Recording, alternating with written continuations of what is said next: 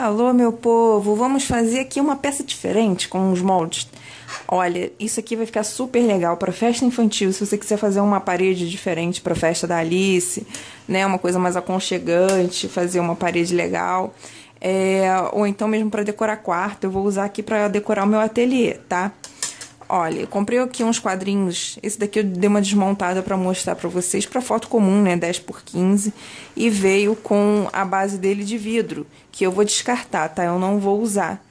Eu vou deixar guardado numa gaveta para futuramente, se eu quiser usar isso aqui para outra coisa, mas para o nosso projeto a gente descarta, tá? Tenho também aqui esse quadro que eu desmontei, provavelmente 15 por 20, eu já vou tirar a medida já. O acetato a gente também descarta para o projeto, mas a gente guarda se futuramente for usar, ou então para fazer asinha de fada, óculos, enfim. Pode aproveitar para outras coisas, né?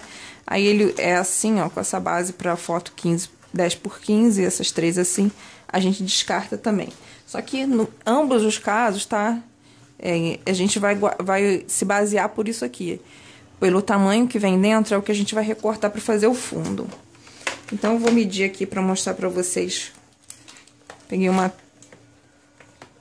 ó, 25, dá pra ver direitinho, por 20, tá? São dois desse daqui. Ó, esse aqui ainda nem tirei do plástico. Três desse daqui, que é pra foto é, 10 por 15. E vou medir esse grandão aqui. 30 por 25, tá? 30 por 25. Então, a gente vai desmontar todo, vou tirar do plástico tudo e já vem.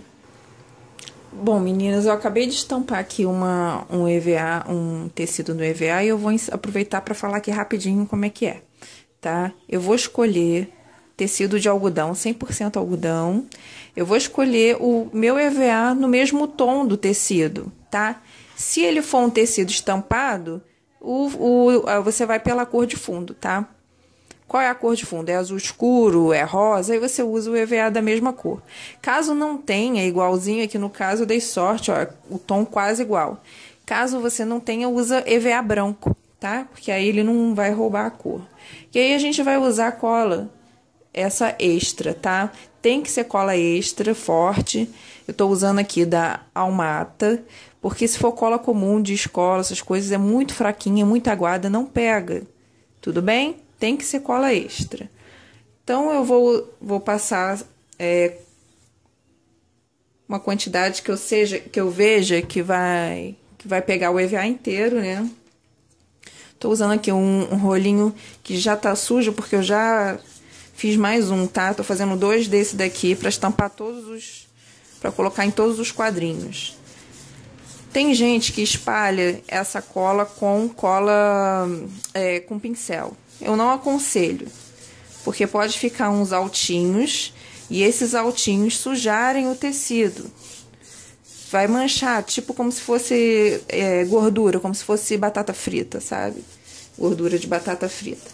Então você espalha assim é, aleatoriamente e depois você vai pelos cantinhos. Ele não pode ficar grosso, tá?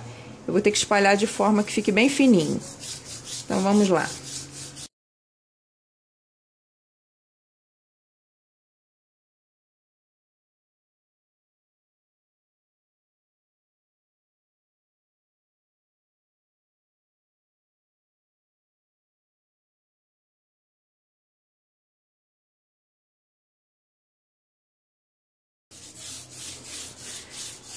É interessante você fazer isso aqui em cima de um vidro, um mármore, alguma coisa assim, porque é, a menos que você tenha uma mesa bem velhinha, né? Que não tem problema de pegar cola em cima, porque uma tábua também serve, porque suja de cola. Quando a gente passa, não sei se vai dar pra ver aí, meu vidro já tá todo, quando a gente vai assim, né, sempre pega um pouquinho. Então a gente tem que ter o cuidado de ficar bem uniforme, tá? Não pode ficar alto aqueles pedaços de cola alto. Colocou bem homogêneo. Essa, esse pincel tem que ser lavado imediatamente. Esse pincel não, esse rolinho. Se não gruda tudo, você perde seu rolinho, tá?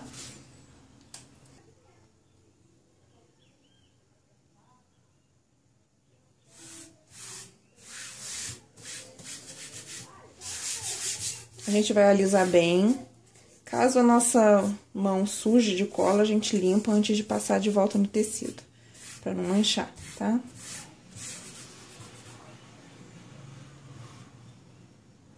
Se fizer ruguinha, a gente levanta assim um pouco o tecido e passa a mão de novo.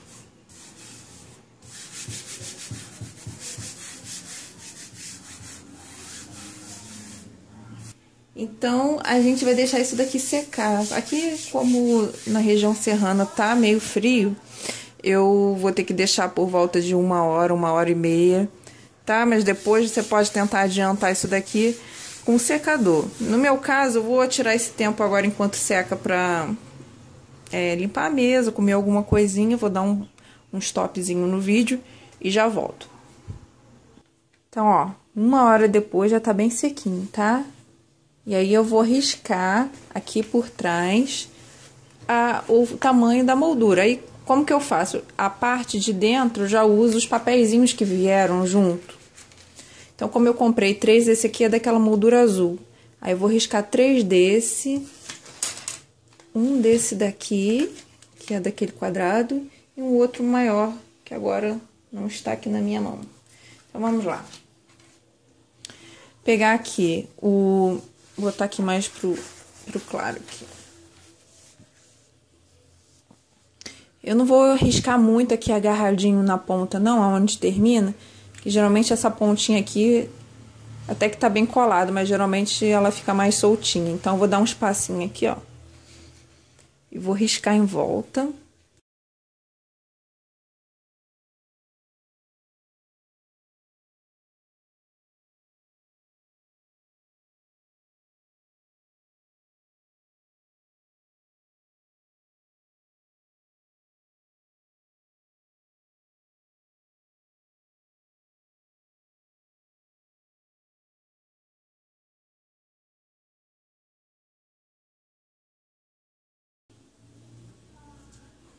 Tá? E aí é só recortar em volta. A gente vai riscar... Ai, ai, ai, tô usando minha tesoura de tecido. Não é essa, é azul.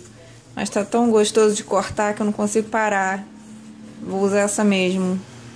Não tenho maturidade pra isso, gente. Vou usar.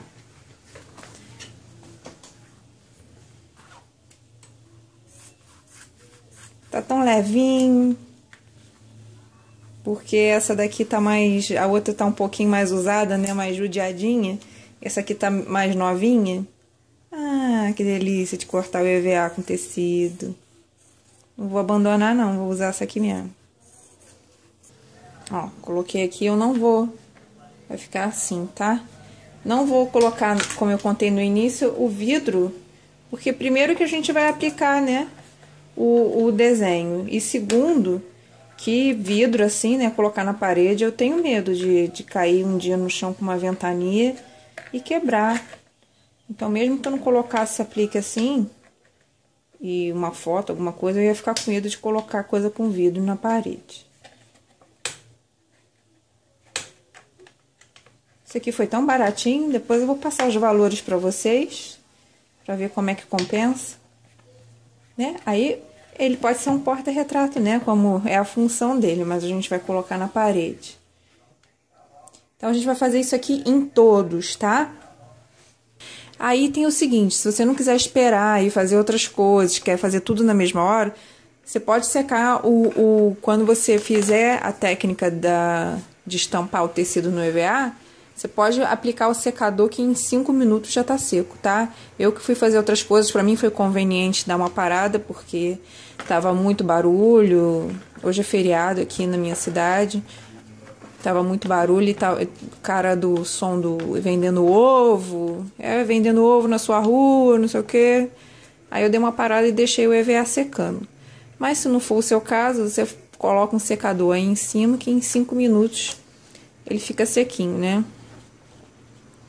Eu tenho que ver se eu compro aqueles holofotes, não sei nem como é que se chama aquilo, para gravar à noite. Ficar bem claro aqui dentro e eu gravar à noite, que tem mais menos barulho.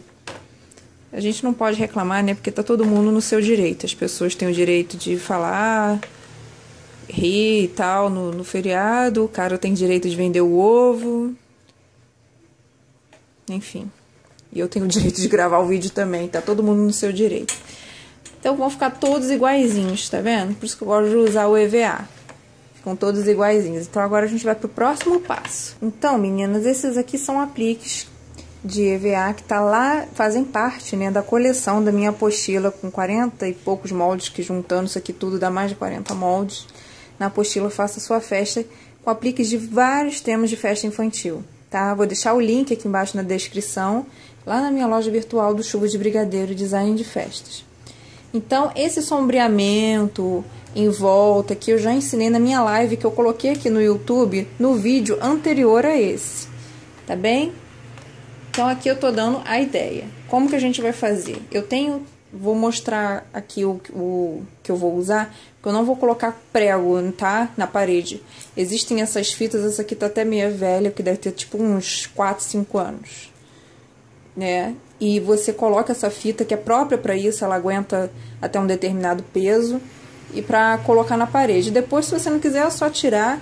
Se ficar um restinho ali de cola, você passa um paninho com água morna e tá tudo certo, sua parede não foi furada, tá? E para colocar que ele vai ficar um pouco para fora em determinados lugares, eu vou, por exemplo, o menorzinho aqui vai ficar para fora. Eu vou essas partes assim, eu vou usar a, essa, essa fita aqui que eu não quero estragar a moldura, tá?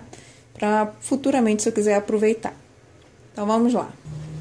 Coração de tecido. Como que eu fiz esse coração de tecido? Exatamente igual a coruja, é, que é um chaveiro que eu ensinei aqui no canal, tá? É, é a mesma coisa. Eu vou riscar, se você não tiver a máquina de costura, usa, cola pano. E aí, no caso, eu abri aqui. Tá com essa cola aqui na... Porque eu tô reaproveitando de um negocinho que ficava pendurado ali no meu armário. Que eu coloquei depois o elástico aqui pra pendurar. Ficou vários, um, um embaixo do outro assim. Mas a gente dá um pique aqui bem pequenininho. É, coloca o enchimento, depois fecha. E aí aquele, aquele elástico ficou aqui em cima tampando, não mostrou nada. Tá? Então eu tirei e tô reaproveitando aqui esse tecidinho, esse coração mas como faz é o mesmo esquema da coruja, tá bom? Cola de silicone da Almata. Vou dar uma caprichada aqui para fixar bem.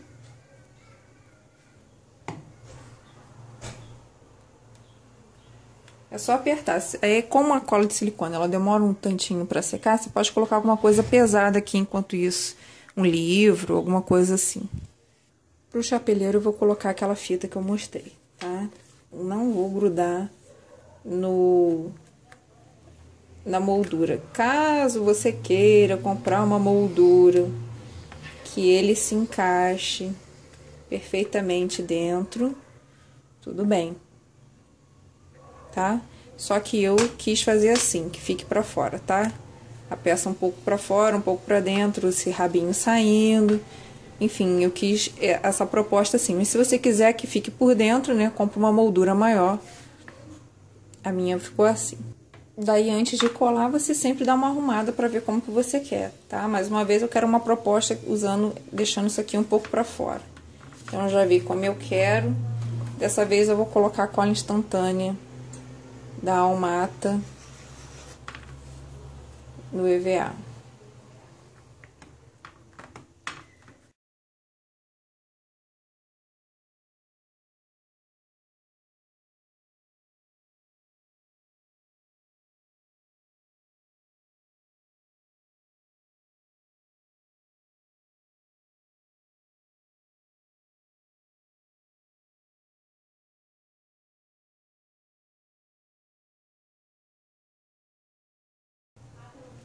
E aí vai sobrar o, o coelho. O coelho eu coloco aqui em cima para dar uma altura aqui similar ao para dar uma altura aqui similar à outra ponta, tá? Para poder ficar proporcional. Também senão ia ficar um espaço muito grande aqui. Então, na hora da gente montar nosso cenáriozinho, a gente vê a proporção, tá? No caso da Alice, eu comprei essa chave. Ela tem uma carinha meio envelhecida, tá vendo? Ela tem um aspecto envelhecido. Comprei em lojinha de artesanato, agora armarinhos, assim, isso aqui deve ter, tá? Mas eu comprei em loja de artesanato mesmo.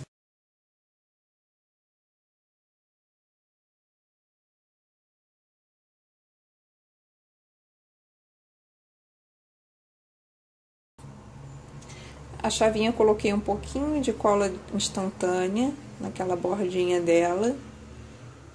Vou segurar assim um pouco. Vou deixar aqui apoiando para essa cola secar. E só lembrando que essa, essa Alice aqui eu também tenho na apostila dos heróis, tá? Lá na apostila dos super-heróis tem essa daqui que é para você aplicar em quadro. Então fica super legal você colocar na mesa, né? Na mesa de doces e tal, o personagem assim, como como porta-retrato mesmo, tá? Então vamos lá para a parede para ver como é que fica.